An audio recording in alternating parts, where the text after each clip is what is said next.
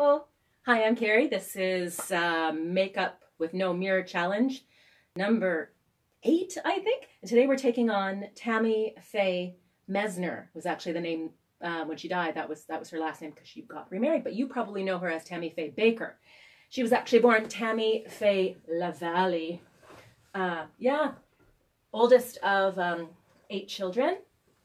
Both of her parents were preachers, like evangelical preachers. Yeah, so she wasn't allowed to wear makeup or dance or talk to boys or anything. So she certainly made up for the makeup part later on in life. Need to have a toast. A toast to us getting through these days with our sanity somewhat still intact. And cheers to you if you haven't hurt anyone's feelings today. Mm-hmm. It is 420, so do what you got to do. All right. So we'll start with the foundation as always. She's one of those gals who painted in her eyebrows. So, and you can see in all of her makeup like that she's actually darkened. She hasn't totally committed to shaving her original eyebrows. She's just covered them up.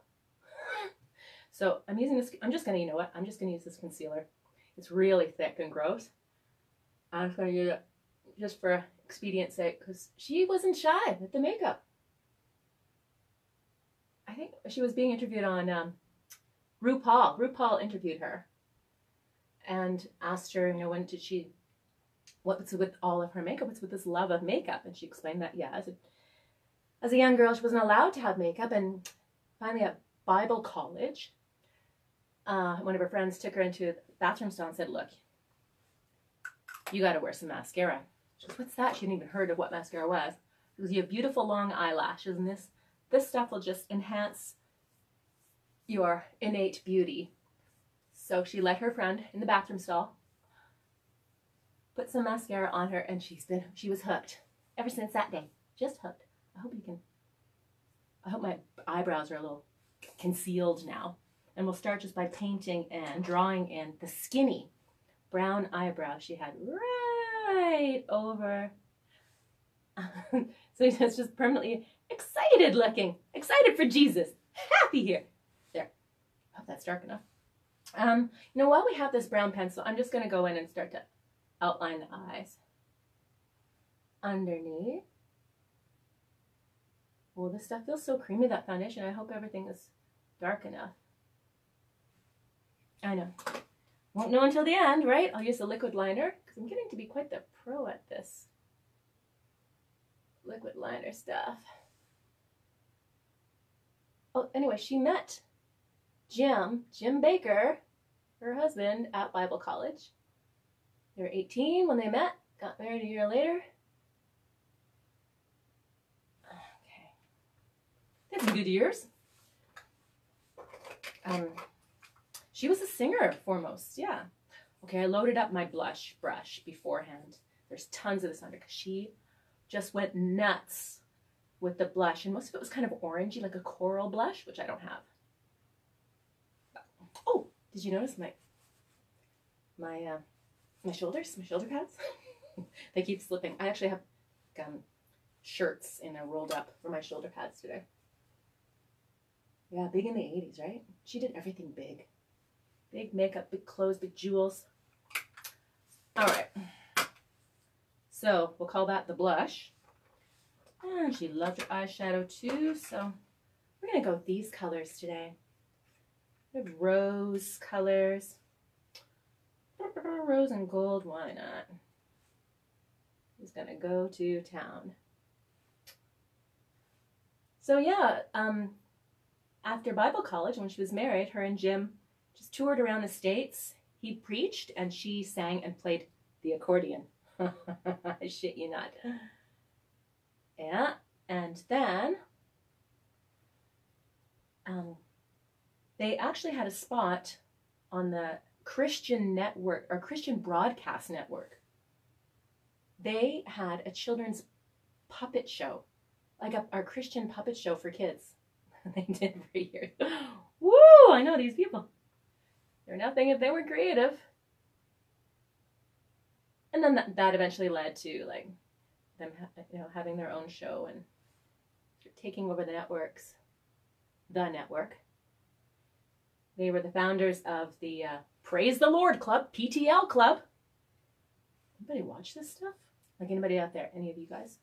Any of you raised with this kind of thing? I don't know if my makeup's going up to the eyebrow that I drew. So I'm just gonna put the this eyeshadow right on top of the eyebrow of my own eyebrow and hope that I'm not covering up the one that I drew. There, how's that? Oh, you know, I do love that white in the crease here, right at the corners. Okay. And now mascara. So what else? Oh, and then of course there was the big scandal. So many scandals. Jim um, and Jessica Hahn. Jessica Hahn. Does that ring, ring any bells to our '80s trivia folks out there? Jessica Hahn. Well, her and Jim canoodled, and she charged him with rape, or was going to charge him with rape, but then she was given three hundred thousand dollars to shut up about it. And uh, which she did, he was never charged, but it led to further investigations into their businesses. They were multimillionaires, right? At this point, like they had so many different shows on. And on these shows, they're asking people for money, right? Money for the Lord, money for this, money for that. It was all going into their own pockets. Anyway, they were investigated and um, yeah, so Jim was actually sentenced to 45 years in prison for all, like numerous fraud counts and um, conspiracy to commit fraud as well. So yeah, he was sentenced to 45 years, of which he only did like, um, what am I doing? Sorry, of which he only did five. But while he was in jail, our Tammy filed for divorce. And then a year later, took up with Roe West Westland. Oh shit, I can't remember her last name now. Um, given her big eyelashes. Took up with this dude, and this dude was a land developer who helped them develop Heritage. Oh, I made some notes. The Heritage, fucking USA, which is a resort and theme park that's for Christians. It like rivals Disney. This place is free. Did I do this side? I can't remember. Oh my god. I have no idea what I'm doing. Um, I'm just so excited to tell you all these fun facts about these scandalous people. Yeah, so they had this huge theme park. Anyway, so Jim goes to jail. She takes up with this Roe, Wes, Wesley, Wes. Fuck, I can't remember. I don't have it written down. Um, and they get married. He's a gazillionaire, but he ends up um, getting caught and sent to jail for um, um, bankrupt, can, can, bankrupt fraud or something, bankruptcy fraud. Yeah. So she's single again for a few years, but she sticks. She stays with him, sticks by him. And um, oh, lips.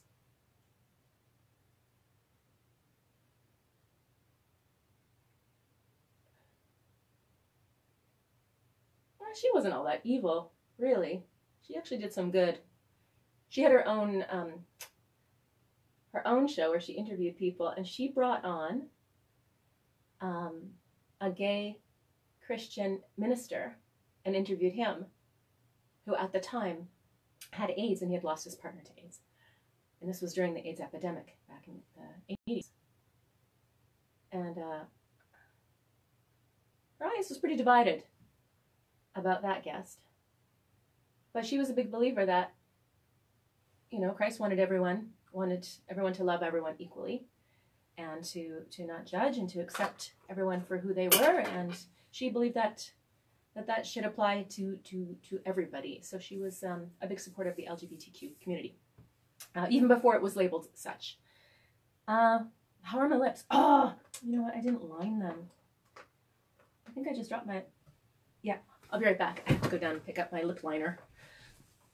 This is a long one, isn't it? Babbling. Okay, we're gonna outline the lips because she did that.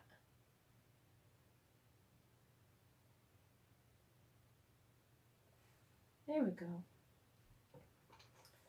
Yeah, and she also had, um, she interviewed a couple of um, drug addicts too, and recovering drug addicts. And she too did a stint in the Betty Ford Clinic for uh, prescription addiction. So she wasn't without fault at all, but um, she also um, actually believed in in her her talk and so, sort of walked her talk, I guess. But anyway, I think I think this is the finished look. Yeah, um anyway, I'm so glad that you came here to watch this show. I just it just warms my heart and and to know that uh, Jesus loves you just as he loves me. And you know if you find it in your heart and in your wallet to maybe you know just even like two dollars makes a difference for the the makeup fund. And uh, i would love to get some wigs too. No but seriously i'm just so glad you came and please take care of one another. It just means the world to me that you're here with us with the lord. Yeah thanks. God loves you god loves you bye. See you tomorrow. See you tomorrow